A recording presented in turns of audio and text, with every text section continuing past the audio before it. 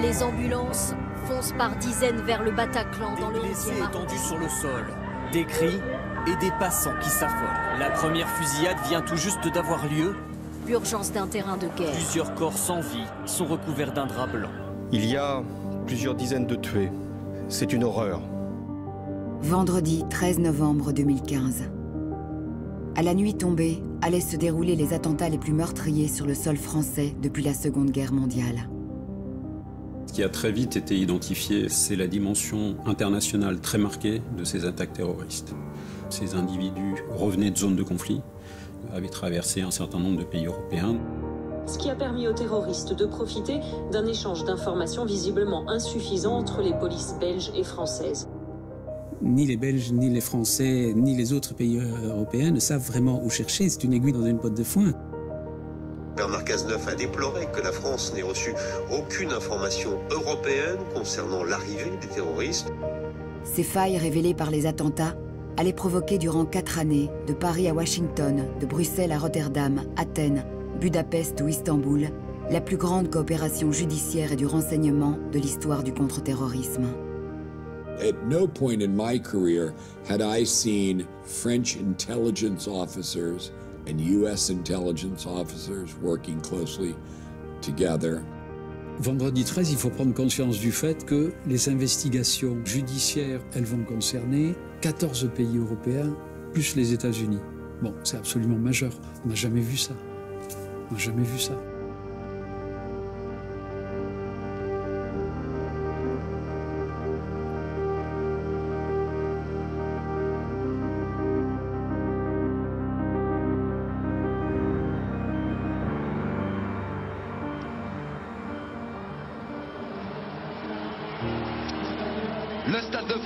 Le coup d'envoi dans un instant. Tout devrait bien se passer ce soir face à l'équipe de France. Je décide de me rendre à ce match, qui est un match amical. Première alerte, on pensait que c'est donc un incident. Ensuite, il y a une deuxième détonation. Là, je n'ai plus de doute. Euh, je suis en plus prévenu qu'il y a un mort à l'extérieur du stade et que nous sommes en face d'une attaque. Au moment où j'allais dormir, j'ai eu un appel. C'était le directeur parisien de la police qui m'a avisé qu'il y avait eu une explosion suspecte à Saint-Denis et qu'a priori, il y avait un ou deux morts. J'ai eu le réflexe d'allumer la télé. J'ai vu apparaître les bandeaux qui annonçaient plusieurs sites de fusillade sur des terrasses de café à Paris. Et euh, là, je pense que j'ai compris immédiatement qu'on y était. J'arrive, je suis devant des scènes de crime avec euh, des morts et des pompiers et des médecins qui sont en train d'essayer de réanimer et de faire les premiers gestes de survie pour les blessés les plus graves. Et puis, j'ai fini par apprendre ce qui se passait au Bataclan.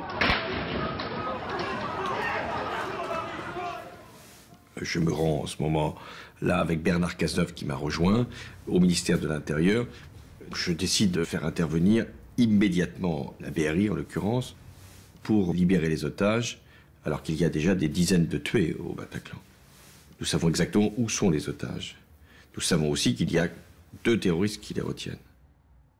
Au moment où je m'exprime, des attaques terroristes d'une ampleur sans précédent sont en cours euh, dans l'agglomération parisienne. Il y a plusieurs dizaines de tués. Il y a beaucoup de blessés. C'est une horreur. Donc vers minuit et quart, minuit et demi, la décision va être prise assez vite de donner un assaut pour libérer les otages. À ce moment-là, nous cheminons jusqu'au Bataclan et c'est un spectacle de désolation et, et, de tristesse. Nous voulions être là, parmi euh, tous ceux qui euh, ont vu euh, ces choses atroces, pour dire que nous allons mener le combat, qu'il sera impitoyable. Je me souviens que je vais y rentrer à trois reprises. Euh, je ne sais pas pourquoi d'ailleurs. Je, serais incapable de vous dire pourquoi je suis rentré trois fois. Je pense que, bon, je ne sais pas. Enfin, j'y suis allé trois fois. Et là, effectivement, euh, bon, c'est un, un, spectacle qui est euh, indicible. Nous déplorons sur les différents sites des attentats la mort de 129 personnes, 352 personnes blessées dont au moins 99 en état d'urgence absolue. Sept terroristes sont morts au cours de leur action criminelle. La France, l'Europe, le monde entier sont sous le choc. Un conflit lointain en Syrie vient de percuter une capitale européenne en paix. Le lendemain, l'État islamique, Daesh en arabe, ISIS en anglais, revendique ces scènes de guerre qui viennent d'ensanglanter Paris. La tentaculaire instruction dite V13 pour vendredi 13 ne fait que commencer. On a commencé à avoir des éléments vers 4 heures, 4 hein, heures ou 4, 4 heures et quart. Il y a un premier élément déclencheur, c'est que le commando du Bataclan, il a garé sa voiture devant le Bataclan, tout simplement. Et donc on va trouver cette polo dans laquelle il y a des documents. C'est un premier élément qui nous conduit à nous tourner vers les Belges. Euh, dans le cadre d'une demande d'entraide pénale, internationale, il y en aura quatre la même nuit. Euh, savoir par qui, euh, comment ça a été loué, par qui, dans quelles conditions. On a d'abord un échange de textos avec François Molins, qui rapidement, dans, la nuit, euh, m'envoie euh, Frédéric, j'aurais besoin de toi, c'est du belge. Euh, et pourquoi? Parce que une voiture trouvée un peu plus loin qui a transporté les assaillants du Bataclan est une voiture louée en Belgique et une voiture dont le contrat de location est au nom d'Abdeslam. Donc tout ça va véritablement considérablement accélérer les choses et va, confirmer assez rapidement qu'en réalité, euh, euh, la base arrière des, commandos euh, qui sont venus frapper à Paris, eh ben, elle est à Bruxelles et dans la banlieue bruxelloise. On peut parler de course contre la montre dès le soir du 13 novembre, avec une priorité pour les enquêteurs qui étaient partis d'identifier les auteurs identifier leurs complices, qu'ils se trouvent en France, en Belgique ou ailleurs en Europe. Nous avons, dès le soir du 13 novembre, été destinataires euh, par les services enquêteurs français d'un certain nombre d'éléments d'enquête recueillis sur place pour essayer, via nos bases de données, via nos partenariats partout en Europe, de récupérer des éléments, notamment d'identification sur les auteurs. C'est plus d'une soixantaine de personnes qui ont été associées au travail sur le dossier. Pour l'heure, quatre des attaquants de vendredi soir ont été identifiés. Tous sont français. Trois sont morts en action dans la bombe qu'ils portaient sur eux. Brahim Abdelsam, boulevard Voltaire. Omar Ismail Mostefaï au Bataclan et Bilal Adfi au Stade de France. Trois kamikazes n'ont pas encore été identifiés. Après, c'est comme un puzzle. Vous avez des gens identifiés, vous en avez d'autres qui ne le sont pas. Mais petit à petit, on va voir effectivement qu'en quelques jours, on va pouvoir mettre un visage sur chacun des trois éléments des trois commandos. Magistrats et enquêteurs s'orientent alors vers un présumé cerveau, Abdelhamid Abaoud, qu'ils imaginent pourtant localisé en Syrie.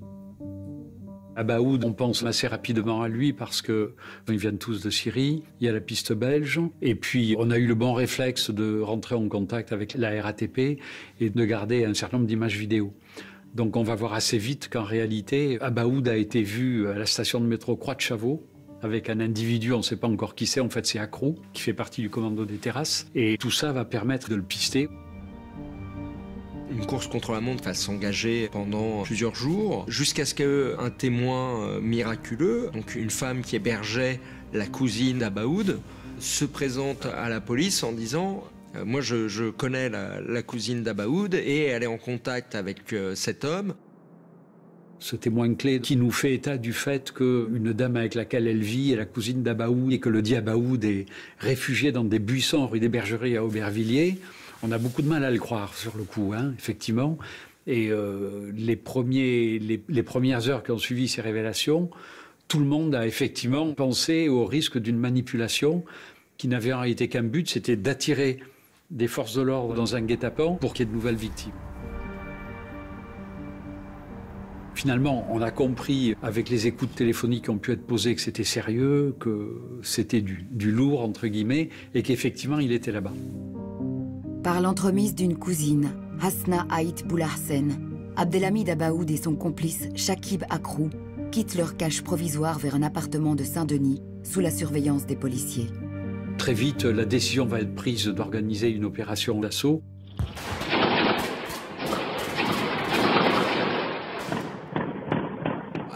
qui s'est déroulé dans des conditions assez particulières, puisqu'on nous avait expliqué que les policiers avaient dû subir un déluge de feu. En fait, il n'avait qu'une seule arme de poing, mais l'essentiel des tirs avait été fait par les policiers et en fait, ils avaient tellement tiré qu'ils s'étaient tirés dessus. En réalité, il s'avérera que l'armement, c'est un pistolet automatique. Hein. Les terroristes sont morts non pas sous les balles des policiers, mais parce que la ceinture explosive qui leur restait a explosé. Donc on a perdu l'opportunité euh, de, de, les arrêter vivants et peut-être euh, de les faire parler. France Inter. Au sommaire de cette édition, la mort finalement du cerveau ou commanditaire présumé des attentats de Paris, Abdelhamid Abaoud, a été tué hier matin dans l'assaut donné dans un immeuble de Saint-Denis. Soulagement des autorités d'un côté, mais preuve aussi que ce Belge de 28 ans est passé à travers les mailles du filet.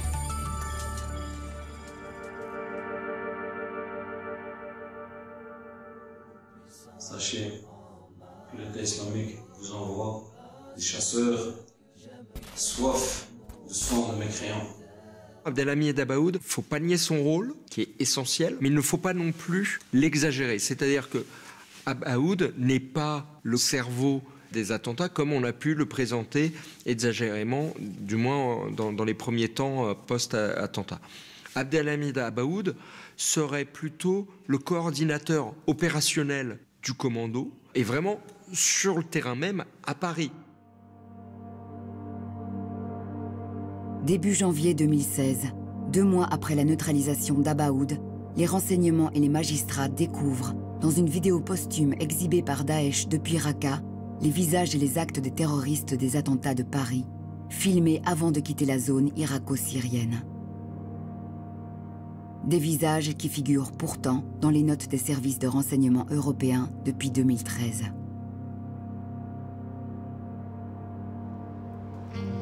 Déjà, les questions se précipitent autour de V13. Pourquoi donc le contre-terrorisme occidental a-t-il été impuissant à empêcher le pire? Ou bien ces attentats révèlent-ils une exceptionnelle convergence de failles? Pour le comprendre, il nous faut revenir deux années plus tôt et commencer par la voix de ceux qui furent en première ligne de la diplomatie et du renseignement. L'été 2013 reste, à mes yeux, une période tout à fait déterminante, charnière, dans la mesure où les États-Unis euh, ont euh, hésité, euh, c'était la présidence Obama, à punir, réprimer le régime de Bachar el-Assad qui avait utilisé des armes chimiques contre son propre peuple.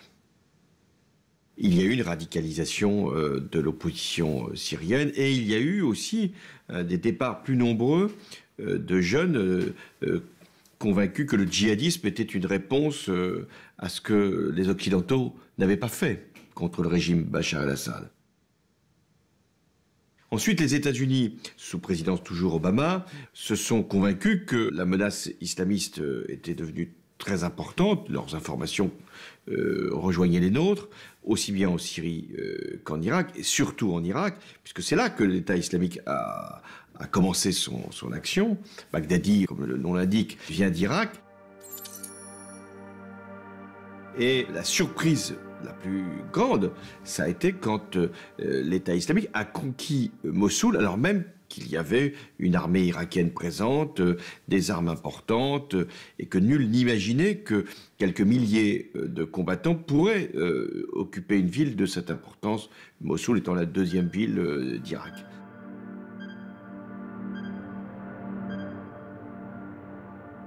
Well, throughout 2013 and then the first half of 2014, ISIS was gaining momentum. carrying out a lot of attacks inside of Iraq that killed thousands upon thousands of individuals.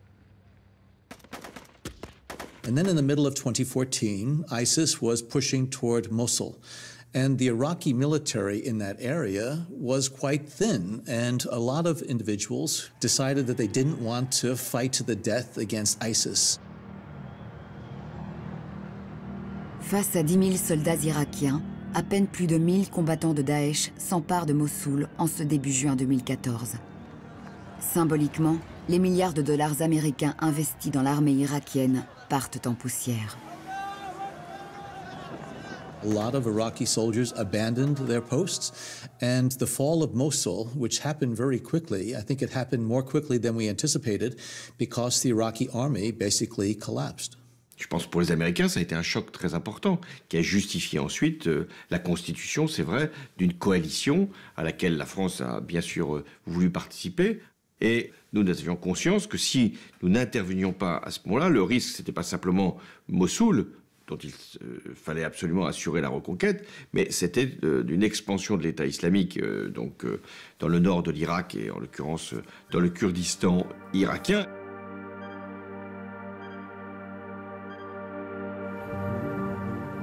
Pour juguler l'expansion de Daesh en Irak, les États-Unis lancent, dans la précipitation, l'opération Inherent Resolve. Lorsqu'on commence l'opération Chamal, qui est la partie française de l'opération Inherent Resolve, bien sûr, on se tourne tout de suite vers la DRM pour savoir ce qu'elle a en stock. Euh, en stock, on avait un certain nombre d'éléments, mais j'allais dire beaucoup plus finalement sur la Syrie euh, et l'armée de Bachar el-Assad, euh, que nous suivions finalement de plus près, que sur l'armée proprement dite irakienne et en particulier sur Daesh. les Américains et les Français également, nous avions un vide dans le domaine du suivi de Daesh. Once the U.S. military forces basically left Iraq in late 2011, U.S. intelligence presence also was pulled out. And so we didn't have the same access, we didn't have the same sources, we didn't have the same technical collection capabilities across northern Iraq that we had previously. Le lendemain du déclenchement de l'opération Chamal et en réaction à l'intervention militaire, le porte-parole et numéro 2 de Daesh, Mohamed al-Adnani, exhorte les musulmans du monde entier à agir face aux croisés, et particulièrement face aux croisés français. فإذا قدرت على قتل كافر أمريكي أو أوروبي وأخص منهم الفرنسيين الحاقدين الأنجاس أو غيره من الكفار المحاربين رعايا الدول التي تحالفت على الدولة الإسلامية C'est une des questions, savoir pourquoi notre pays est devenu la cible prioritaire de l'État islamique. Il y a toute une série d'explications. Euh, la première, bon, qui, est, qui tombe sous le sens, c'est qu'à côté euh, des Américains et dans une moindre mesure des, Britanniques, nous sommes le pays le plus exposé au Levant. Il y a une course contre la montre entre des terroristes qui ont non seulement pris pied sur deux États au, Levant, la Syrie et l'Irak, mais qui ont pris aussi des moyens qu'aucune structure terroriste n'a jamais eu, et puis surtout une structure militaire puissamment armée, dont une partie des armements avait appartenu aux Irakiens on a en face de nous, pour la première fois, une structure qui euh, déterminée, qui peut faire le, poids, et donc euh, un rapport de force euh, s'exerce. La question reste brûlante des années plus tard. L'intervention française en Irak a-t-elle provoqué la menace ou bien l'a-t-elle seulement devancée? J'avais conscience que nous aurions une phase nouvelle. Alors après, est-ce que ça serait sur un, un terrain où étaient présents les forces françaises ou est-ce que ce serait sur notre propre sol? Je n'avais pas là euh, d'éléments qui me permettaient d'y répondre. There was no coherent and strong plan to destroy ISIS. There was not such a plan within the United States, and there was no set shared plan between us and our friends and allies who also had an interest. And there was not a plan in Iraq, nor was there a plan in Syria. American policy in Syria was schizophrenic. On the one hand, we wanted to destroy ISIS cells that were in Syria. On the other hand, we wanted nothing to do with the Syrian civil war. So, where could you find someone in Syria who was willing to fight ISIS but was not willing to fight Assad. And we spent a huge amount of money to find 60 people in Syria because there just weren't any people who were willing to fight only ISIS and not to fight Assad. So our policy created on the ground an absurdity. Les erreurs d'appréciation stratégique et militaire de la coalition permettent à Daesh d'étendre rapidement ses conquêtes à l'est de la Syrie. Au même moment, au nord, à la frontière turque, le passage de milliers de combattants étrangers rejoignant Daesh accentue la menace sur l'Europe.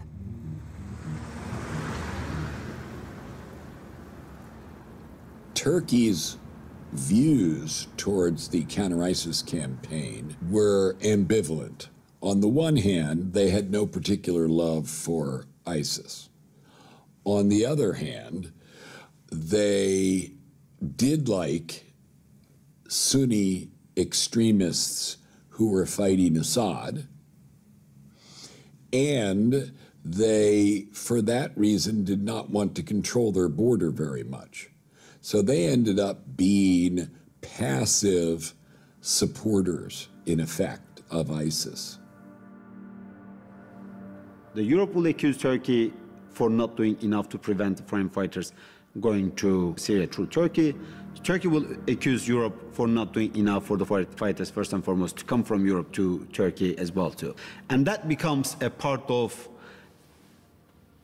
a fight, uh, a sideshow fight between European countries and, uh, and Turkey.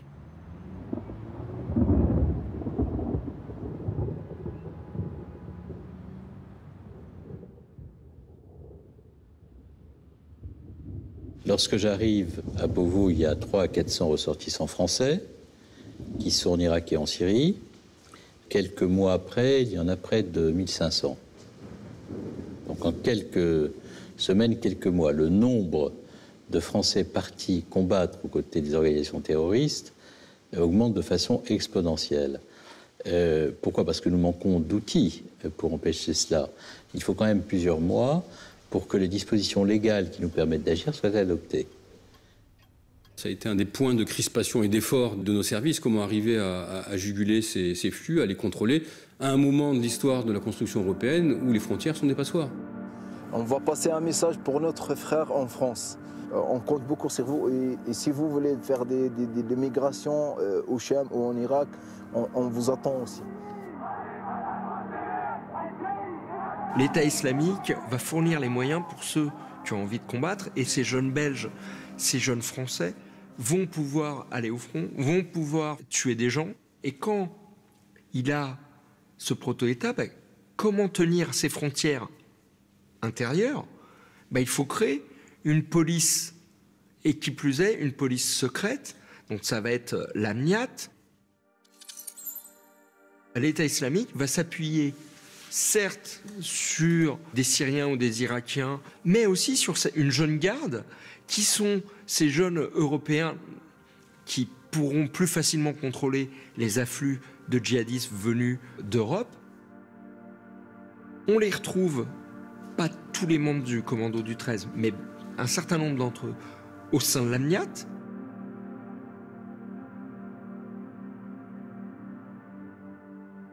I think it was in late 2014 and then early 2015 when we really felt that ISIS was, the threat was going to grow and that operations were likely to take place in Europe as well as the United States. And the real challenge for my European counterparts was that they, they weren't just having to stop ISIS operatives from coming into the countries, they, they had people inside of their countries already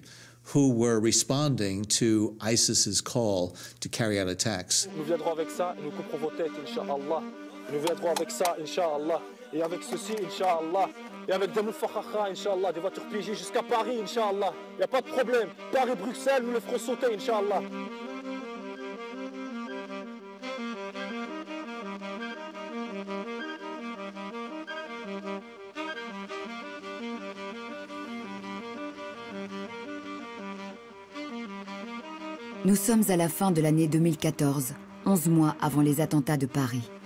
Les magistrats belges et français vont être pour la première fois confrontés aux répercussions du conflit syrien et à Abdelhamid Abaoud. Verviers, c'est des djihadistes qui viennent de la brigade Al-Batar où était euh, Abaoud et qui sont projetés en Belgique pour aller commettre des attentats contre la police on comprend effectivement que c'est tout à fait précurseur de ce qui va se passer, puisqu'on a en fait déjà le, modèle de l'attentat qui a été organisé par Daesh en France ensuite. On essaie d'avoir un petit peu une idée sur euh, avec qui ils sont en contact. Ils sont déjà en contact avec Abaoud qui se trouve à ce moment-là à Athènes. Au parquet fédéral de Belgique, Frédéric Van Leeuw découvre un appartement conspiratif utilisé par les terroristes à Verviers et le place sur écoute. Au moment où on est vraiment euh, en train de, les suivre, se passent à ce moment-là des événements euh, à Paris sur Charlie Hebdo et sur l'hypercachère. L'attaque de ce midi dans les locaux de Charlie Hebdo est sans précédent dans l'histoire de la presse en France. Le bilan de la fusillade d'aujourd'hui dans la rédaction de l'hebdomadaire satirique est dramatique. 12 personnes tuées.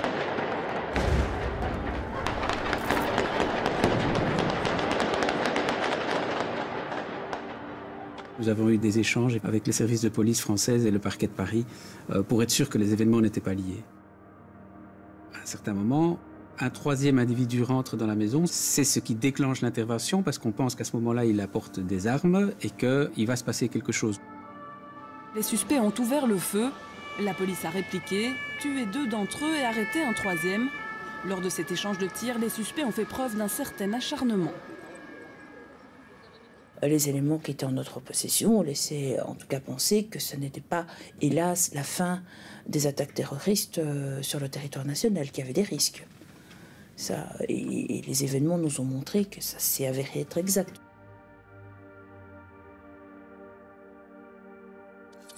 Alors le profil d'Abaoud est très intéressant parce que c'est quelqu'un qui arrive fin 2013, début 2014 en Syrie. Il va montrer une appétence pour les, euh, pour les tueries euh, évidentes. On se rappelle de cette fameuse vidéo où il traîne des corps. Avant, subhanallah, on tractait des jet skis, des quads, des motocross, des grosses remorques remplies de bagages, remplies de cadeaux pour aller en vacances. Subhanallah. Maintenant, alhamdulillah, fi dans le sentier d'Allah, subhanahu wa ta'ala, on traque les mourtades, les kuffars, ceux qui nous combattent, qui combattent l'islam. On est là. Tu peux filmer ma Allahu Akbar Takbir alors on connaissait Abaout, mais on ne le connaissait pas dans cette position-là. Donc on savait qu'il était parti en Syrie, mais Abaout en tant qu'organisateur, en tant que un peu chef de commando, on s'en rend compte à ce moment-là, dans la semaine ou dans les semaines qui précèdent l'intervention à Verviers.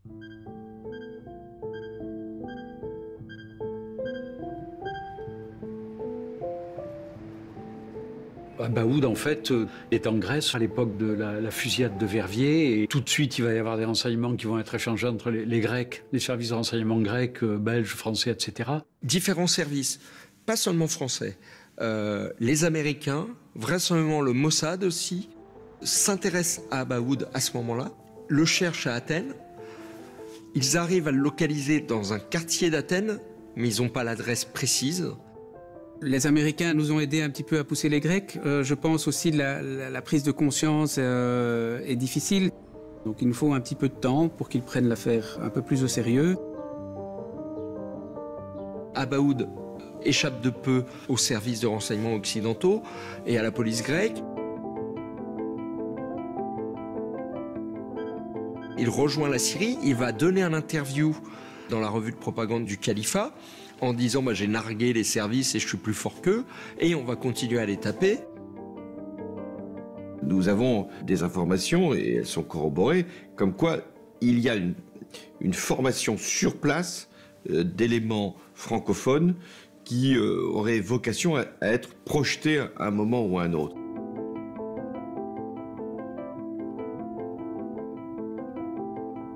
Nous sommes à l'été 2015, quatre mois avant les attentats. Deux arrestations permettent aux magistrats et aux services occidentaux de saisir l'ampleur de ce qui se prépare depuis Raqqa. La première arrestation met fin aux ambitions du djihadiste français Tyler Villus.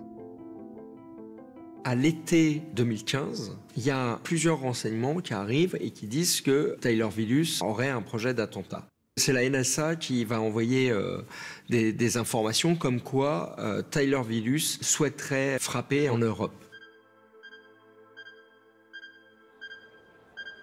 Un homme se présente pour prendre un avion à destination de Prague. Il a des papiers, c'est un Suédois.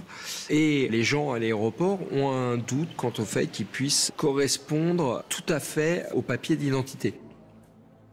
Les gens de l'aéroport vont aller chercher quelqu'un qui parle suédois et l'amène pour que cette personne lui parle euh, au suspect euh, en suédois et la personne ne sait pas parler suédois. Les policiers turcs envoie la photo à différents services européens en disant est-ce que vous le connaissez? Les, les, les, Français euh, percutent tout de suite en disant oui, c'est Tyler Villus et oui, il nous intéresse beaucoup. Tyler Villus, c'est un personnage absolument emblématique des cinq ou dix dernières années que nous avons vécues. Il est un des premiers Européens à rejoindre le théâtre de la guerre civile syrienne et à rejoindre des katibas euh, djihadistes. Il est celui qui prend sous son aile un jeune djihadiste belge qui vient d'arriver, qui s'appelle Abdelhamid Abaoud, et il est un des premiers à rejoindre les rangs d'une police secrète qui est euh, la MIAT euh, en train de, se construire. Devant le juge d'instruction, Tyler Villus dément appartenir à la MIAT mais confirme la volonté du calife Abou Bakr al-Baghdadi de frapper la France suite à l'intervention militaire occidentale.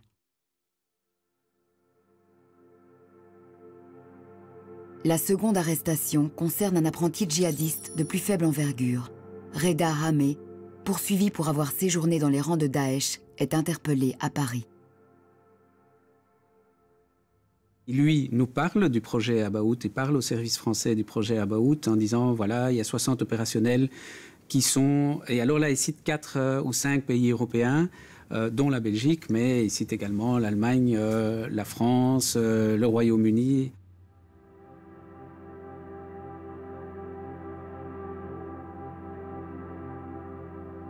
Accentuant l'inquiétude des magistrats, Reda Hamé confie aussi qu'Abdelhamid Abaoud l'a missionné pour frapper Paris, et particulièrement une salle de concert. C'est un récit qui est euh, tout à fait crédible. La seule chose, c'est que ni les Belges, ni les Français, ni les autres pays euh, européens ne savent vraiment où chercher. C'est une aiguille dans une, botte de, foin. La menace, elle est, montée crescendo au travers de, de, renseignements qui nous étaient donnés euh, et dont on parlait régulièrement avec la, la DGSI qui faisait véritablement état du fait que la France était en train de devenir la cible numéro un et qu'on était dans un climat de menace absolument exacerbé qui faisait qu'il allait nous arriver quelque chose de lourd, de grave, mais on ne savait pas quand, on ne savait pas comment et on ne savait pas où. Il y a euh, plusieurs milliers euh, de nos jeunes, principalement de nos jeunes, qui sont partis en Syrie et qui sont susceptibles de revenir. Euh, à une période où on a vraiment euh, la crise où Erdogan a ouvert ses frontières et où l'Europe est euh, carrément noyée dans la vague de réfugiés. C'est là que l'État islamique décide d'infiltrer ces réfugiés et d'envoyer sur le sol européen un certain nombre de ses agents et de, de ses combattants.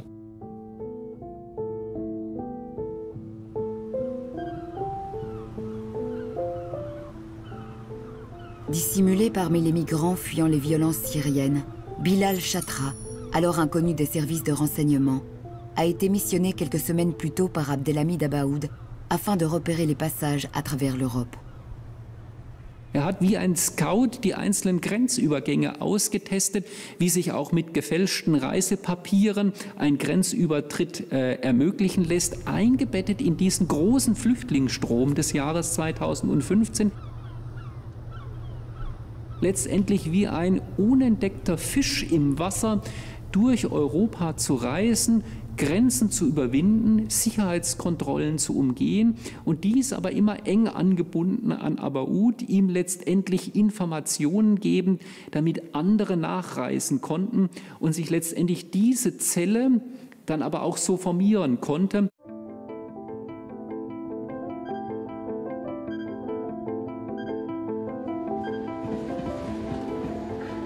Abdelhamid Abaoud pénètre en Europe, accompagné d'un djihadiste portant le nom de code Andalousie.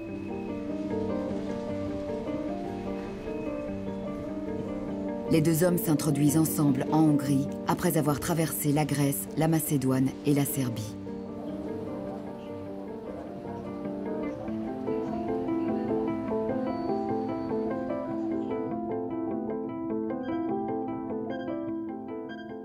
Le 6 août 2015, trois mois avant les attentats, Abaoud entre en Belgique. Faute de coordination européenne, l'homme le plus recherché par les services de renseignements occidentaux a pu traverser huit pays sans être inquiétés. Le but de l'État islamique, au contraire du début de la crise, c'est vraiment de toucher l'Europe à un certain moment. C'est vraiment le changement de paradigme. Et pour ça, ils prennent des gens qui peuvent retourner très rapidement. L'inconvénient à cette tactique-là, c'est que ces gens sont très peu formés et, font des erreurs, ne parviennent pas à remonter convenablement une, Kalachnikov, comme dans le cas euh, du, du, Thalys, où ça aurait pu être un carnage s'il avait bien remonté son arme. Le duo Abaoud-Andalousie ne reste pas longtemps inactif à Bruxelles. Deux semaines après leur arrivée, sur les ordres d'Abaoud, Andalousie, nom de code, ou Kounia de Ayoub El-Razani, armé d'un fusil Kalachnikov, s'introduit dans les toilettes du Thalys Amsterdam-Paris. Sur lui, neuf chargeurs de 30 balles, plus qu'il ne faut pour un carnage dans des wagons confinés. Mais la Kalachnikov s'enraye et Ayoub al-Hazani se trouve maîtrisé par plusieurs passagers héroïques. Un drame évité de justesse grâce au courage d'au moins cinq passagers. Ils ont maîtrisé puis ligoté le suspect qui voyageait avec un arsenal de guerre. Un attentat déjoué grâce à un incroyable concours de circonstances. Avec cette succession d'attentats réussis ou déjoués en 2015, à chaque fois on retrouve euh, Abaoud, donc il va devenir l'obsession euh, des services de renseignement, notamment euh, français, euh, qui veulent l'éliminer très clairement.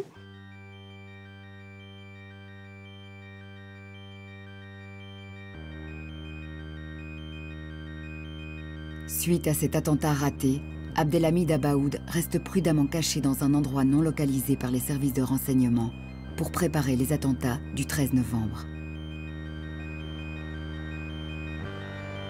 Nous sommes à la fin de l'été 2015, trois mois avant les attentats.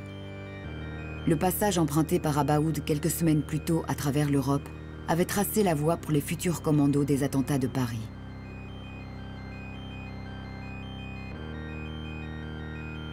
Ils sont peu à peu récupérés en Hongrie par un ami d'enfance d'Abaoud, Salah Abdeslam, pour être conduits en Belgique.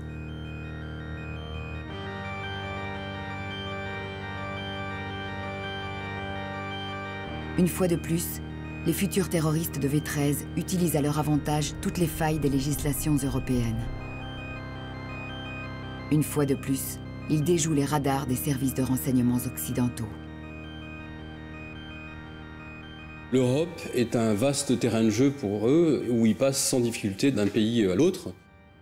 Le cas d'Abaoud, c'est évident. C'est un des regrets d'ailleurs qui a été exprimé euh, de manière euh, euh, très explicite par euh, l'ancien patron de la DGSE, Bernard Bachelet, quand il dit qu'effectivement, ça fait partie des choses euh, que nous aurions dû et pu faire, c'est-à-dire mettre hors, hors circuit très vite à Baoud, puisqu'il était devenu quelque part le, cerveau de, plusieurs opérations dont on voyait bien que ça, ça remontait à lui. Par ailleurs, il y a des témoignages de revenants qui disent euh, bah non mais il, sait qu'il est trop cramé, que son visage est trop connu, donc euh, il pilote depuis Raqqa. Donc les services occidentaux, euh, de, manière logique, s'imaginent que le danger et le problème est en Syrie. Alors qu'en fait, au moment où il le cherche en Syrie, il a déjà rejoint la Belgique.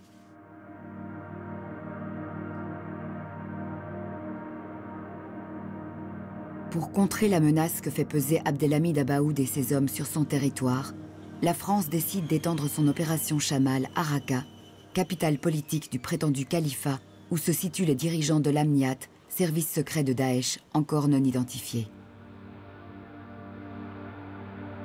Il ne s'agissait pas à l'époque d'aller euh, frapper des djihadistes francophones. Il était nécessaire d'aller taper euh, en Syrie sur les zones à la fois d'entraînement, sur les postes de commandement, ces combattants djihadistes étaient mélangés à la population.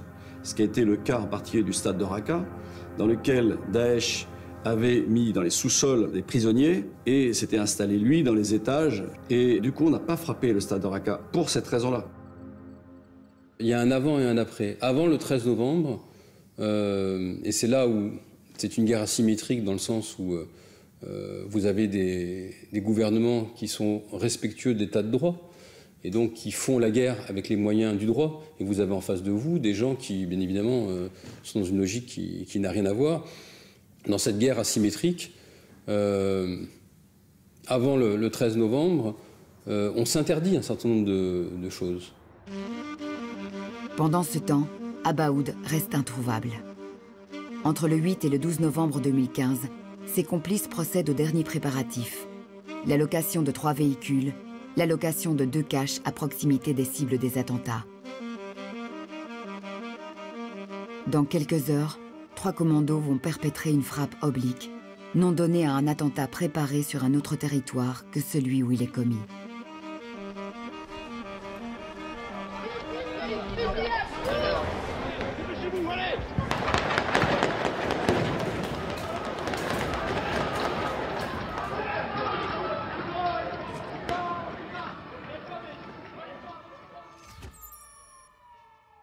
Communiqué sur l'attaque bénie de Paris contre la France croisée. Huit frères, portant des ceintures d'explosifs et des fusils d'assaut ont pris pour cible des endroits choisis, minutieusement à l'avance au cœur de la capitale française. La France et ceux qui suivent sa voie doivent savoir qu'ils restent les principales cibles de l'État islamique. When you're dealing with violence and you're dealing with conflict, you always in a logic of escalation. So you always have to do more to capture the attention of, of the public, of an audience. And so uh, if you just put bombs someplace and they explode and cause damage to a building, but there is no blood, nobody cares. I mean, that's the reality of situation. If you have bombings or you have killings of people, well, people will be horrified at first, and then the more you do it, people get used to it. So you almost have to, you, you're always in a logic of escalation. La France se trouve confrontée aux pires attentats de son histoire et le contre-terrorisme à sa pire faille depuis le 11 septembre 2001. En Europe, les services judiciaires et du renseignement vivent un véritable bouleversement. Des services face à l'urgence de découvrir complices et commanditaires de ces attentats.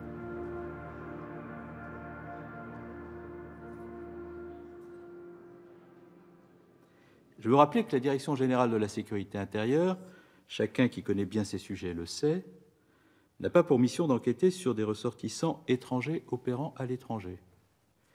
Quant aux terroristes, y compris les Français Amimour et Mostefai, qui ont traversé de nombreux pays de l'Union européenne avant de perpétrer leurs crimes en France, je confirme devant votre commission, solennellement, je l'ai déjà fait, qu'aucun service de renseignement, aucun, et aucun service de police des pays traversés, et ces pays étaient nombreux, ne les a signalés.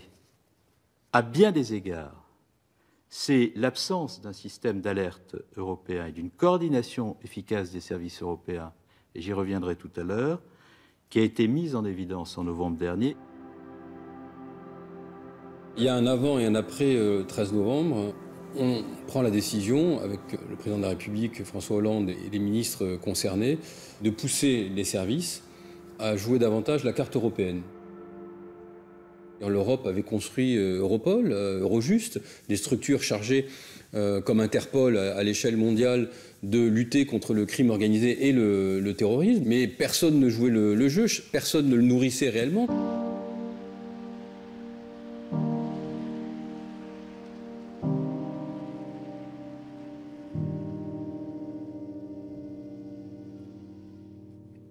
Le premier besoin, c'est un besoin de coopération immédiat, immédiat, avec la crainte qu'il y ait d'autres attentats, et un besoin de coopération dans un cadre multilatéral.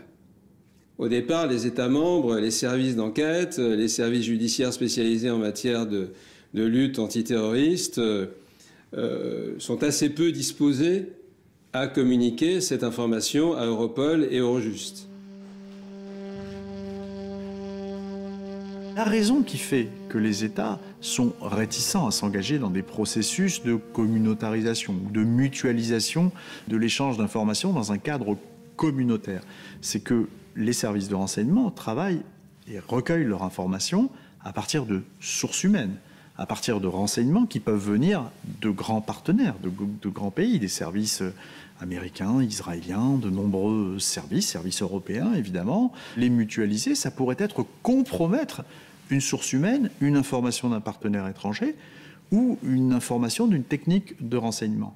Et le risque, c'est qu'il n'y ait plus d'informations si on mutualise à outrance.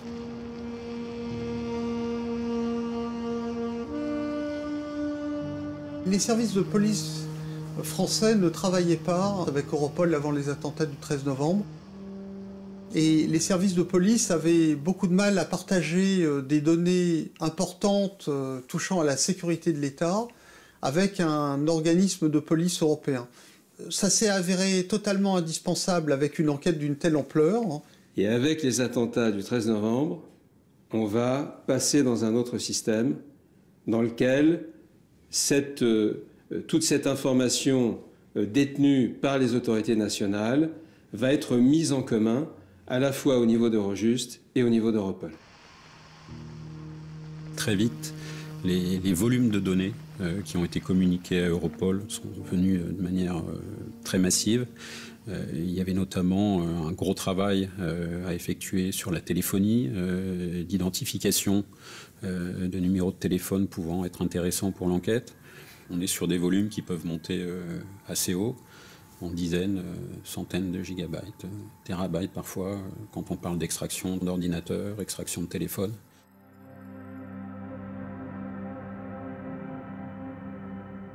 L'ampleur de l'attaque et le fait que ça touche l'Europe tout entière fait que Eurojust a dû jouer son rôle de manière extrêmement importante.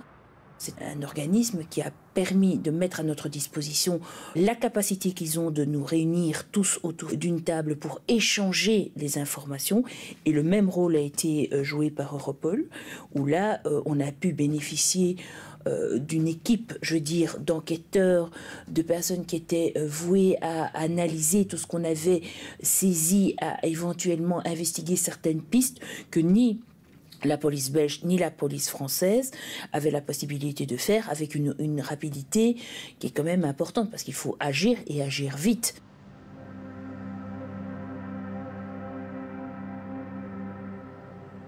Un mois après les attentats, c'est au cœur de l'Europe, dans la ville frontalière de Salzbourg, que Frédéric Bab et Eurojust sont sollicités pour la première fois sur V13. C'est le premier acte de la coopération dans ce dossier. Salzbourg, c'est la démonstration immédiate qu'on euh, a besoin, dans un dossier comme celui-là, d'un outil de coopération multilatérale. Dans un centre de réfugiés à Salzbourg, en attente d'un laissez-passer pour l'Allemagne, deux hommes sont interpellés pour détention de faux documents. Deux faux migrants qui intriguent particulièrement les magistrats autrichiens. Quand on reçoit cette information, concernant Ousmane et Haddadi, qui ont passé la frontière, euh, sont passés avec le flot de migrants en compagnie de deux autres terroristes, qui sont des kamikazes, qui se sont fait exploser devant le Stade de France. Quand l'information remonte que Ousmane et Haddadi sont en Autriche, ils ont été interpellés par euh, le parquet de, de Salzbourg et mis en détention provisoire, immédiatement, évidemment, il faut pouvoir rencontrer les magistrats de Salzbourg. Mais qui à Paris connaît un procureur à Salzbourg? Personne, par définition. Et donc en quelques jours, nous organisons un déplacement. Et là, nous rencontrons nos homologues autrichiens dans une réunion qu'ils souhaitent euh, confidentielle. Nous allons obtenir euh, la preuve très vite euh, que euh, Ousmane et Haddadi euh, faisaient partie de l'équipe et qu'ils étaient sans doute, sans doute prévus pour participer eux-mêmes aux attentats du 13 novembre.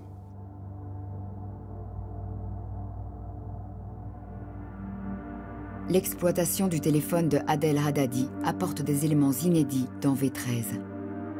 Haddadi avait les mois précédant son arrestation tenu informé un supérieur hiérarchique à Raqqa de l'avancée du commando destiné à commettre l'attentat suicide au Stade de France. Son nom de code, Kounia Abu Ahmed.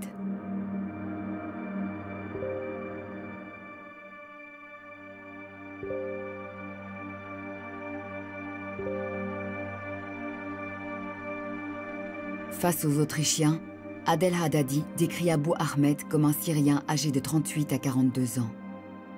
Puis, des photographies lui sont présentées. Il désigne alors un visage, celui d'un belgo-marocain, un certain Oussama Attar. Et une fois que euh, les interrogatoires euh, seront terminés, alors on organisera une nouvelle réunion, cette fois à Paris, euh, pour organiser la remise de Ousmane et Haddadi par l'Autriche à la France. Lors de son interrogatoire en France, deux autres planches photographiques sont présentées à Adel Haddadi.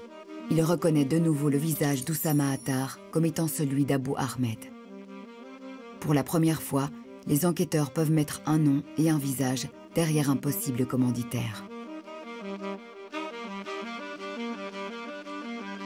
Pendant ce temps, les mois s'écoulent et la traque de Salah Abdeslam, seul membre des commandos de Paris encore vivant, semble se poursuivre indéfiniment. Salah Abdeslam fait partie des individus les plus recherchés d'Europe. Salah Abdeslam est-il l'un des cerveaux des attentats de Paris ou un simple pion destiné à tuer et à se faire sauter? Salah Abdeslam, on lui reproche d'être allé chercher tous les membres des commandos euh, dans toute l'Europe. Hein. On lui reproche euh, d'avoir loué les voitures. Et enfin, on lui reproche d'avoir conduit euh, les commandos au Stade de France. Hein. Donc il est vraiment au cœur de la problématique de l'organisation, de la préparation et de la commission des attentats du vendredi 13. On tombe finalement sur un dossier qui avait été ouvert au parquet de Bruxelles où on a saisi chez un faussaire toute une série de fausses cartes d'identité. C'est comme ça qu'on parvient à trouver la rue du Driss en regardant par exemple si des contrats de gaz, d'eau, d'électricité n'ont pas été ouverts. Mais en arrivant à la rue du Driss, commence une fusillade. Et au moment de cette fusillade, il y a un des terroristes qui reste sur les lieux, qui est d'ailleurs abattu par la police, mais qui permet à deux autres de pouvoir s'enfuir. Assez rapidement, on sait que c'est Salah Abdeslam qui nous échappe à ce moment-là. Il cherche plutôt asile dans ses anciens amis, dans sa famille, et ce qui fait qu'on le repère très très rapidement. On met en place une opération pour aller le chercher.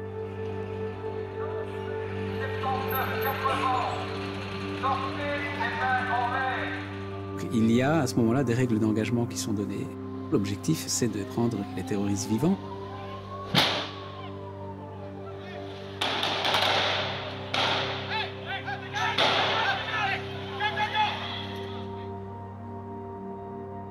Salah Abdeslam a été appréhendé vivant ce 18 mars 2016, la fin de 126 jours de cavale.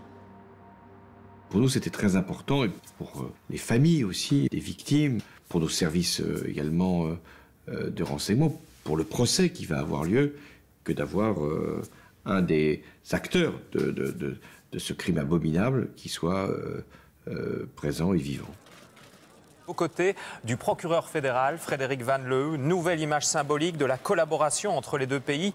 Nous avons évidemment fait le point sur l'enquête qui a connu une grande évolution ces derniers jours, avec l'arrestation de M. Abdeslam et de son complice. Nous savons cependant que l'enquête n'est pas finie. Et comme vous avez pu le voir avec le communiqué de presse du parquet fédéral d'aujourd'hui, qu'il y a d'autres individus qui doivent encore être retrouvés et s'expliquer. L'arrestation de Salah Abdeslam expose à la lumière des médias les dernières cellules terroristes à Bruxelles.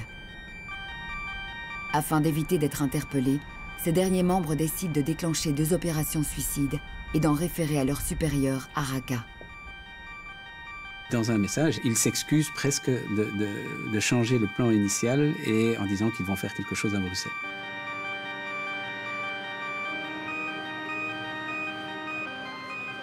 Bruxelles touchée par trois explosions ce matin à l'aéroport international et à la station de métro Malbec, à deux pas des institutions européennes. Il y a au moins 34 morts et plus de 200 blessés.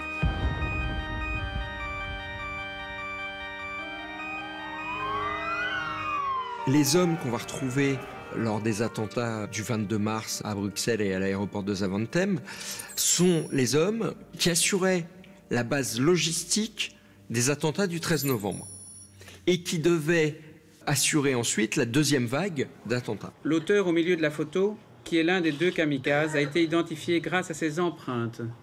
Il s'agit de Ibrahim El-Bakraoui. Le second kamikaze, à gauche sur la photo, n'a pas encore été identifié. Le troisième suspect, vêtu d'une veste claire et portant un chapeau, est en fuite. Il y a un élément déterminant, c'est ce qu'on va pouvoir retrouver dans les heures qui suivent les attentats de Bruxelles et Zaventem. L'Ashraoui, lui, et ses amis, d'habitude, ils cassaient les tablettes, les ordinateurs. Là, l'Ashraoui jette dans une poubelle avant de monter dans le taxi. Et ils partent euh, à l'aéroport. Alors cet ordinateur est effectivement dans une poubelle. Donc quand on arrive rue Max Rose, on le retrouve dans la poubelle, mais il y avait un camion de poubelle dans la rue qui passait. Et donc on aurait très bien pu ne jamais retrouver cet ordinateur. Il y a plusieurs ordinateurs. Hein. Il y a un ordinateur qui est retrouvé rue du Driss aussi. Euh, et ces ordinateurs nous donnent évidemment de, pas mal d'informations. Euh, entre autres euh, sur les, les, contacts avec, avec Raqqa. Et par ailleurs, les experts vont retrouver des échanges entre l'Ashraoui et un des frères Bakraoui et leur haute autorité à Raqqa, un certain Abou Ahmed. Et ils vont pouvoir déterminer que Abou Ahmed, c'est Oussama Attar, le cousin des Bakraoui, et ils vont pouvoir mettre un nom sur celui qui planifiait les attentats du 13 novembre et puis du 22 mars. Pour la seconde fois, les enquêteurs valident le nom d'Oussama Attar comme commanditaire des attentats de Paris et Bruxelles. Un Oussama Attar loin d'être inconnu des services belges. Oussama Attar est quelqu'un qui est connu en Belgique parce que c'est quelqu'un qui, en 2003, euh, quitte la Belgique alors qu'il a 17 ans et part en Syrie pour étudier le Coran, étudier l'arabe. On le retrouve en 2005 en Irak où il est arrêté sous un faux nom. Il atterrit à Abu Ghraib. Il se retrouve emprisonné en même temps que El-Baghdadi, El-Adnani, euh, toute une série de personnes qui vont créer l'État islamique. Oussama Attar fait l'objet à certains moments d'une campagne, est très malade dans la prison. C'est l'époque où remonte à la surface ce qui s'est passé à Abu Ghraib, le comportement des troupes américaines et autres.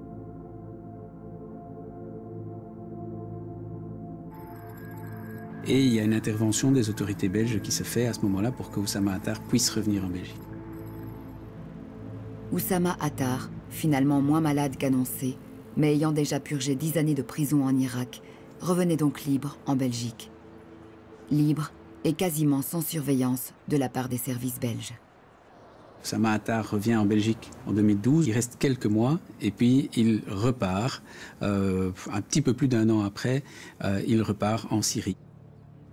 Tandis qu'à Bruxelles et à Paris, les magistrats confirment l'identité du commanditaire probable des attentats, c'est sur les territoires néerlandais que se prolongent les investigations de V13. Nederland heeft zich in 2017 aangesloten bij het team van België en Frankrijk. Het team wat onderzoek deed naar de aanslagen in Brussel en Parijs. Dat had eigenlijk twee redenen. Eén was dat wij zagen dat op de avond van de aanslagen in Parijs twee leden uit de groep van aanslagplegers op Schiphol waren geweest. Dat waren Krayem en Ayari. Waaruit wij afleiden dat daar mogelijk ook een aanslag plaats had moeten vinden.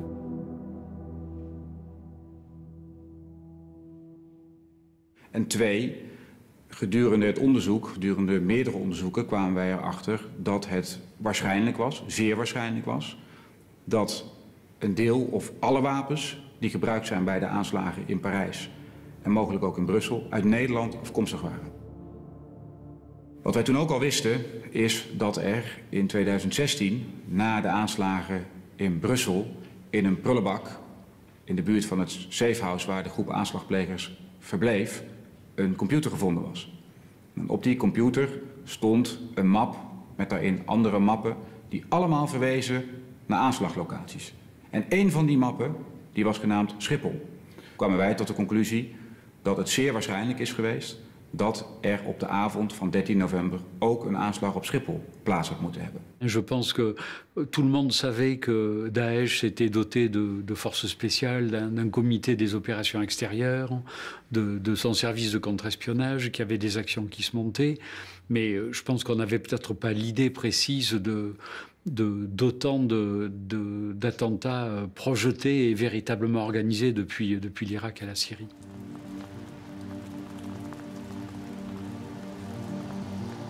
Dans une enquête comme celle-là, de toute façon, la, pression, elle est permanente. Permanente.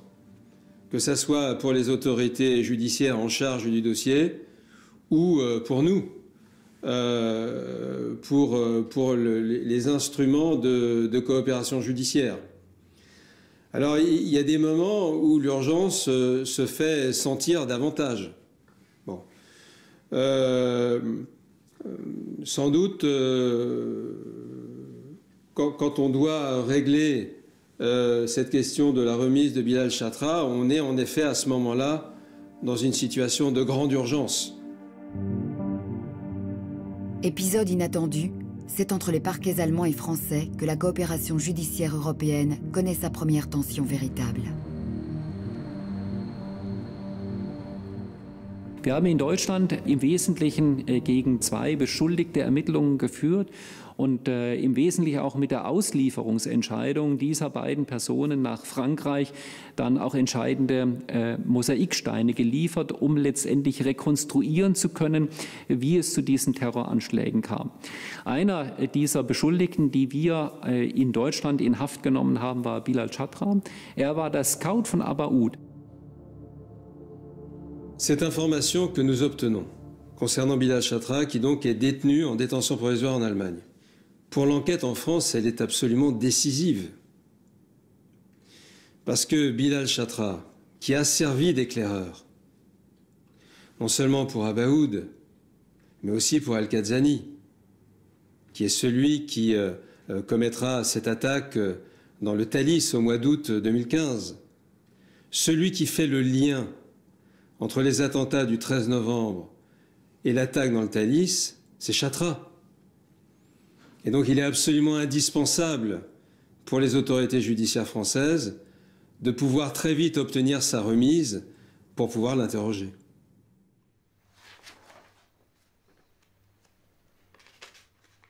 On s'est disputé véritablement pendant des semaines et des semaines avec nos collègues qui restaient sur leur position, qui voulaient le juger, alors que nous, on avait décerné un mandat d'arrêt pour le récupérer. Et donc ça s'est traduit par, euh, avec Eurojuste, euh, observateur puis acteur, puisque Eurojuste nous a beaucoup aidé là-dessus. Ça s'est traduit par un conflit qui a duré des semaines et des semaines et qui, je crois, je crois le savoir, a été arbitré au niveau politique et diplomatique euh, le plus haut. Face à la stupeur provoquée par l'attentat du marché de Noël de Berlin en décembre 2016, l'Allemagne se décide finalement à remettre Bilal Chatra au magistrat français. La coopération euh, antiterroriste avec l'Allemagne s'est énormément densifiée après l'attentat du marché de Berlin. Elle a véritablement pris un tour et une densité qu'elle n'avait pas avant. La coopération judiciaire est tributaire des relations entre États. Les relations entre un pays et la France sont bonnes, généralement, la coopération judiciaire est fluide. Euh, les relations sont tendues, crispées pour X ou Y raison, et les euh, relations, euh, la coopération judiciaire s'en ressent. Je ne peux pas dire que dans le dossier des attentats de Paris, en dehors du cas spécifique de la Turquie, j'ai senti une gêne particulière qui serait de nature politique ou diplomatique de la part des autres États à coopérer.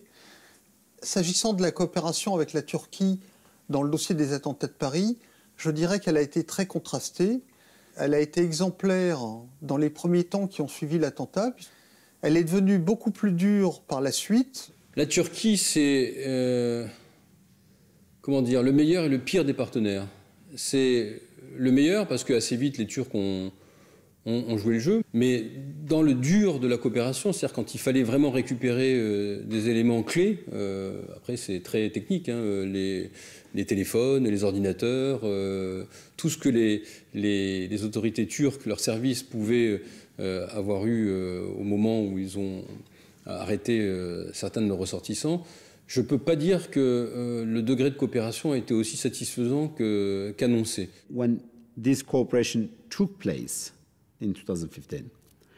The, the Turkey did not want this to be an ISIS-only focus, because back then the Turkey would also use the language by saying, well, we should not only focus on ISIS, we should focus on other terrorist organizations as well too.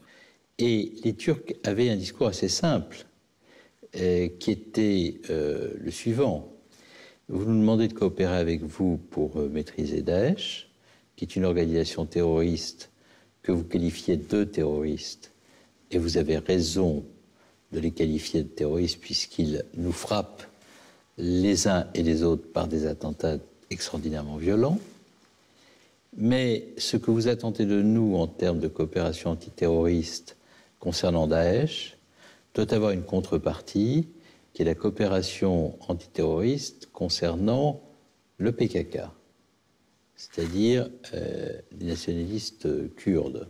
Et nous, nous considérions que euh, les Kurdes étaient nos alliés dans la lutte contre Daesh. The fact that the PYD-YPG was the U.S. local partners in the fight against the ISIS as well too has become a major sticking point in the relations.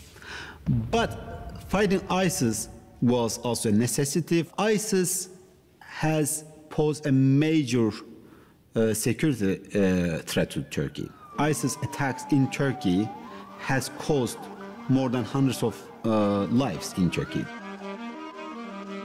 Au fil des deux premières années de l'instruction V13, les arrestations succèdent aux images d'attentats.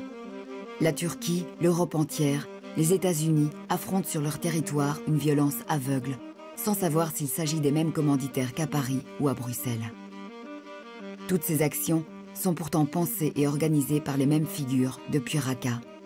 Figures qui ne vont plus tarder à être neutralisées selon le terme pudique des services contre-terroristes.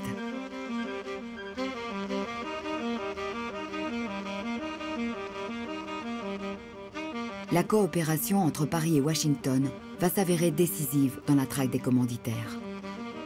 Déjà, quelques mois plus tôt, une opération éclair en Irak contre le ministre du pétrole de Daesh, Abu Sayyaf, avait permis aux renseignements américains de comprendre le fonctionnement du califat terroriste. Uh, it needed to have intelligence, which we had very little intelligence about ISIS.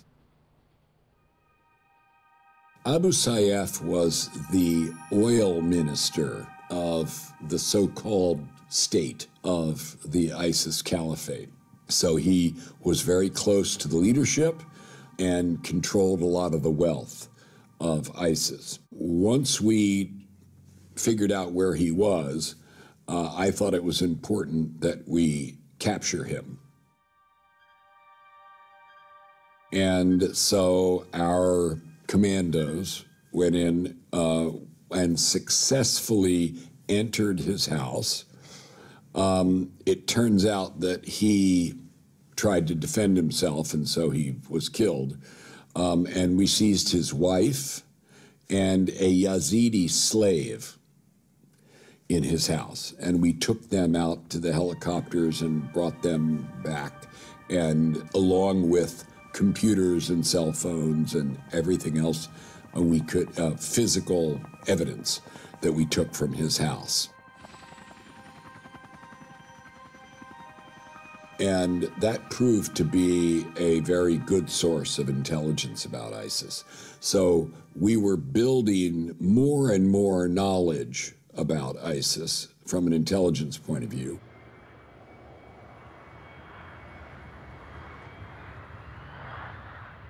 Suite après les attentats du 13 novembre, j'ai eu à la fois des conversations téléphoniques avec euh, Barack Obama et je me suis rendu aux États-Unis quelques jours après c'est à ce niveau-là que sont décidés les principes de la coopération et l'importance des moyens que nous y consacrons.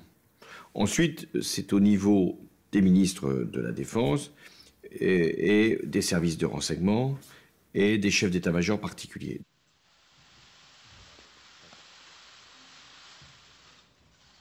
Francois, this is an important moment for our nations and for the world. This barbaric terrorist group, ISIL or Daesh, and its murderous ideology pose a serious threat to all of us. It cannot be tolerated, it must be destroyed, and we must do it together. At the close of the meeting in which I uh, proposed to President Obama the two red arrows plan to destroy ISIS in Mosul and Raqqa, I walked him after the meeting and he turned to me and said, Let's get this done. And then shortly after that, I left to talk to my colleagues, um, especially in Europe, uh, about the role that they could play. It's a pleasure for me to welcome my friend, my admired colleague, the Minister of Defense of France, Jean-Yves Le Drian, here to the Pentagon. France is America's oldest ally, and today our security partnership is the strongest it's ever been.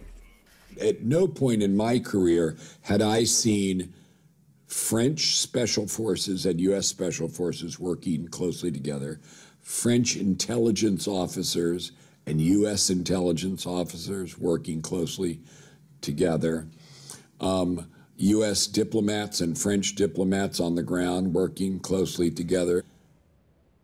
I talked to my people in Paris, and I, I, traveled out there soon afterward to make sure that there was this sharing of information.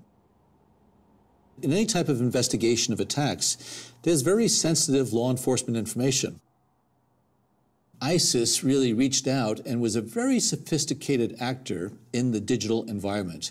And it was a much more challenging target in many respects because of that sophisticated technical skills that they had.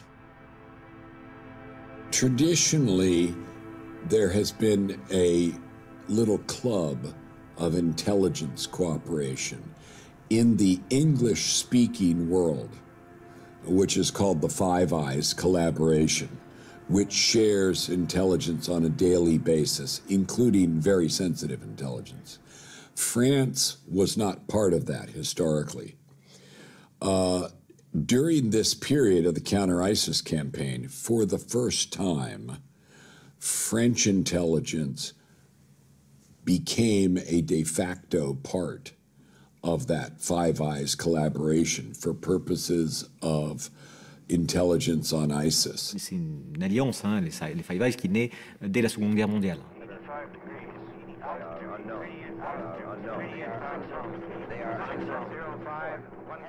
C'est la coopération entre cinq euh, pays qui sont les États-Unis, la Grande-Bretagne, le Canada, l'Australie et la Nouvelle-Zélande. Ce sont des pays qui ont des agences spécifiques électrotechniques d'interception. Donc ces euh, agences techniques coopèrent entre elles.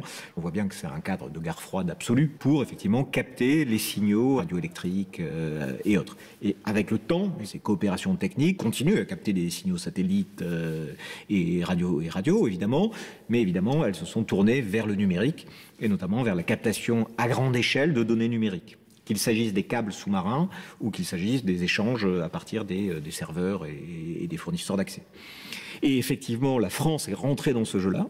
Et là, on a vu se développer un débat, y compris parfois à l'intérieur des services, sur la question de, au fond, est-ce que euh, on n'est pas en train de compromettre au nom de la coopération la sûreté nationale?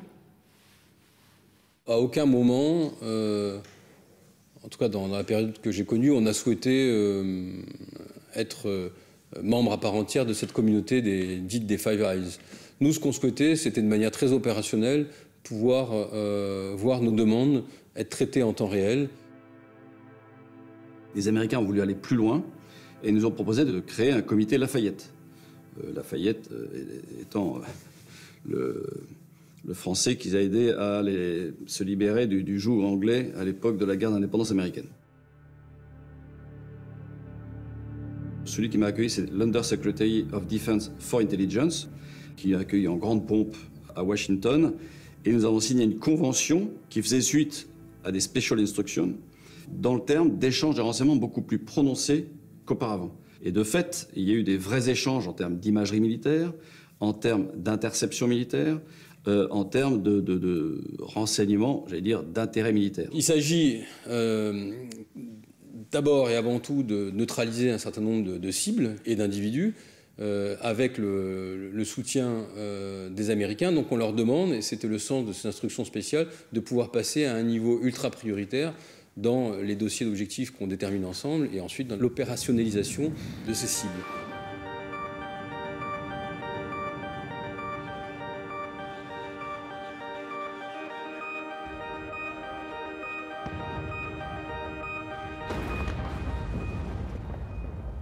La difficulté, c'est de cibler les chefs qui se cachent, souvent qui n'utilisent aucun moyen, euh, dire moderne, comme sont les, iPhones, ou, les téléphones mobiles euh, ou, Internet, de façon parce qu'effectivement, avec ça, on, vous cible euh, beaucoup plus vite.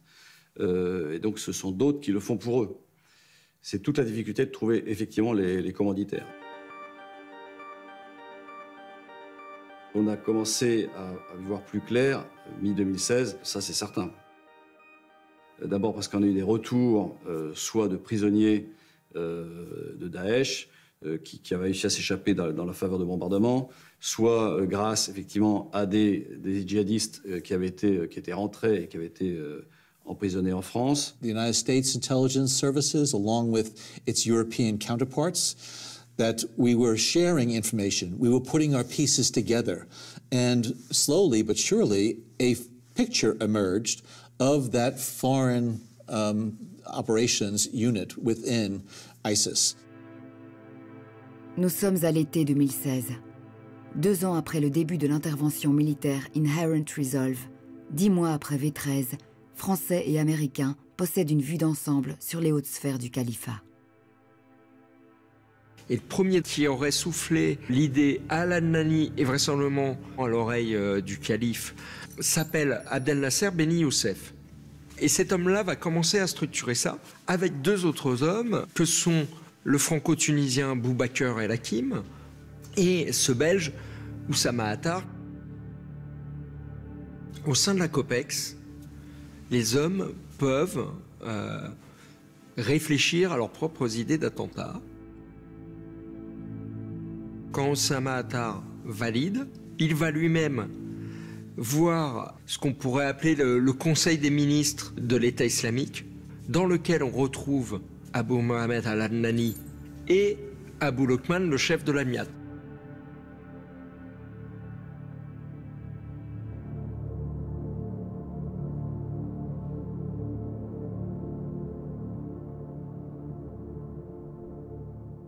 First, we had to find out who they were, and then where they were, and then we had to kill them. And we gradually were able to piece that together. And therefore, we knew um, whom we needed to attack if we wanted to destroy ISIS. Dès la fin du mois d'août 2016, à Al-Bab en Syrie, deux ans après sa déclaration de guerre contre les croisés, Mohamed Al-Adnani, porte-parole et numéro 2 de Daesh, est neutralisé par un drone. Ce n'est pas une question judiciaire.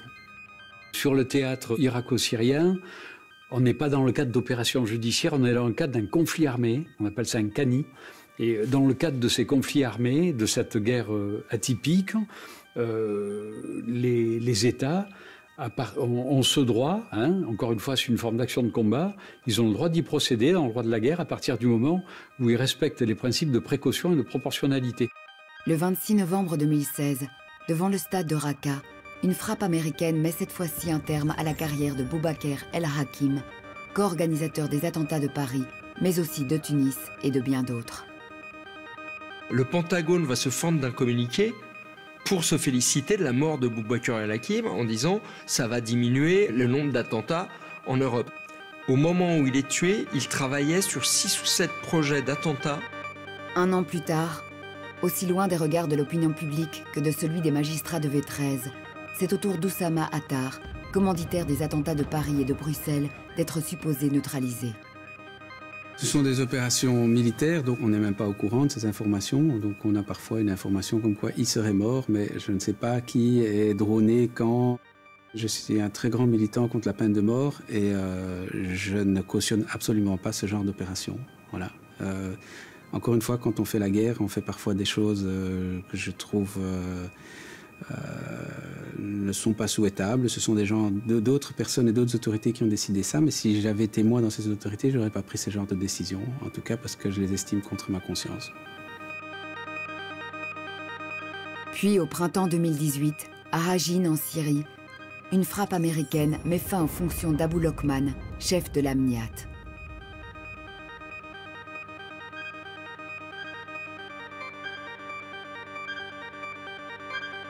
Enfin, dans la nuit du 26 au 27 octobre 2019, les forces américaines, assistées depuis un mois par le renseignement français, lancent l'opération Kayla Muller, nom donné en hommage à une jeune humanitaire américaine détenue puis tuée en Syrie quelques années plus tôt.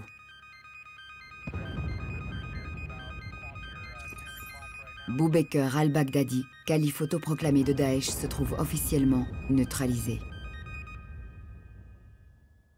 Sometimes you have to wait until you can satisfy the public need for blood. If you only have 10 people, killing them all or arresting them all will solve the problem. But if you have potentially millions and millions of people identifying the victims of, uh, uh, of your own action, then you're not going to have a solution without de escalating.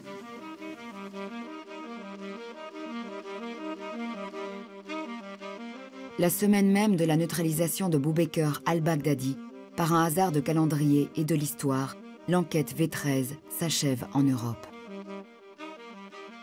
C'est une enquête qui a duré énormément, plusieurs années. C'est une enquête qui s'est faite étape par étape. Une fois qu'on avait terminé un volet, puis on débutait un nouveau volet, et à certains moments, j'avais toujours cette réflexion avec mon, mon chef d'enquête. Le chef d'enquête, je lui demandais, mais ça va se finir quand? Quand on va pouvoir avoir une vision claire de ce qu'il s'est passé.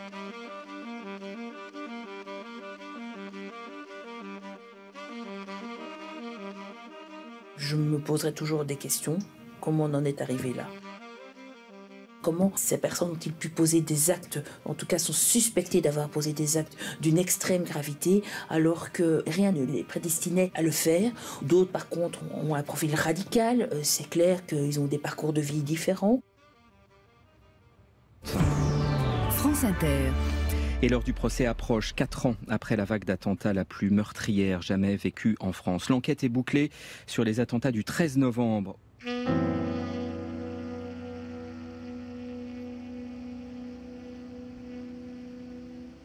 Est-ce que V13 ne serait plus possible aujourd'hui? L'état de la menace a évolué du fait de la réponse apportée par les trois grands leviers du contre-terrorisme que sont l'action militaire, le renseignement et l'action judiciaire. Ce qui ne signifie pas qu'il ne faille pas être très vigilant sur la question du maillage de nos frontières par rapport à ces projections de combattants euh, djihadistes euh, qui sont euh, susceptibles de s'organiser ou de se réorganiser. Daesh n'est pas mort. Il continue à exercer un pouvoir de nuisance en Syrie et en Irak. Je pense que la menace aujourd'hui, elle est quand même plus diffuse. Les attentats, souvent, qui ont été commis depuis fin 2018, ont souvent été le fait de gens qui euh, étaient. C'est le bas du spectre, quoi. Hein.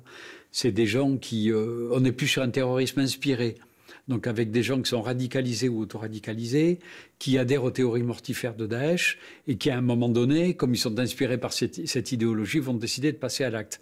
Pour autant, c'est pas forcément des gens qui étaient dans les radars des services de renseignement. Quand des attentats sont commis, généralement les, auteurs sont arrêtés ou neutralisés très rapidement, les réseaux sont remontés extrêmement rapidement. bon, on n'a pas, comme on a pu l'avoir, je ne sais pas, dans les années 60 ou 70, des réseaux qui peuvent être actifs durant des années sans qu'on les repère. C'est quand même, il y a quand même une efficacité extrêmement importante. C'est très compliqué d'échapper à ces services une fois que vous avez commis quelque chose. Euh, là où évidemment c'est beaucoup plus compliqué, c'est de prévoir ces passages à l'acte.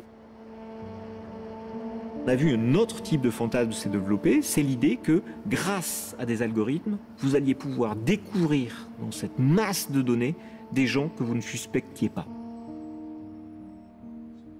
Au moment où nous nous parlons, nous sommes à 35 attaques déjouées, ce qui est un nombre tout à fait significatif on se dit effectivement que euh, des moyens de détection type algorithmique qui nous permettraient de déceler un comportement inhabituel chez euh, un individu pourraient sans doute améliorer l'efficacité des services de renseignement.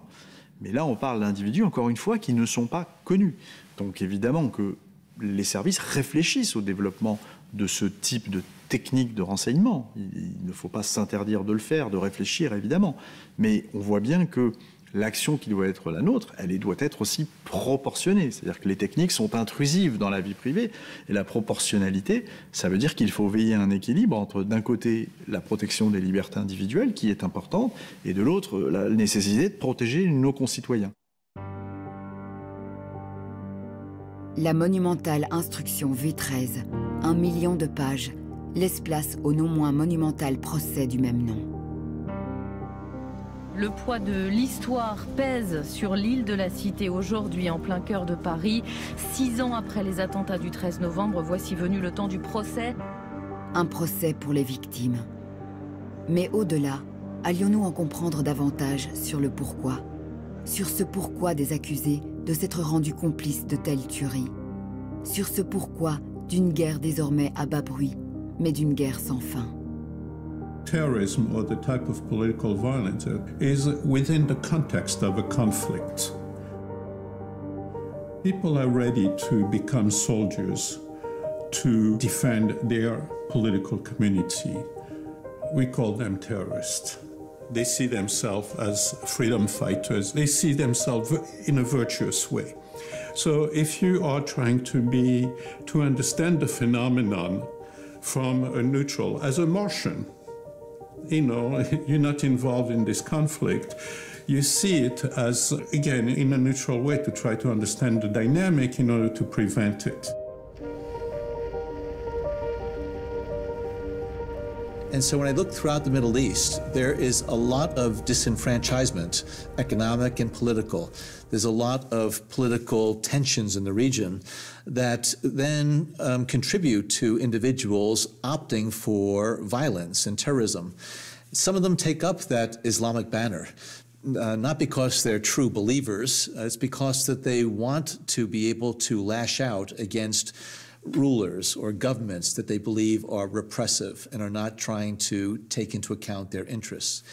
So I, I, do think that it's important for the United States and other countries to recognize that terrorism and terrorist attacks are symptoms of a larger problem.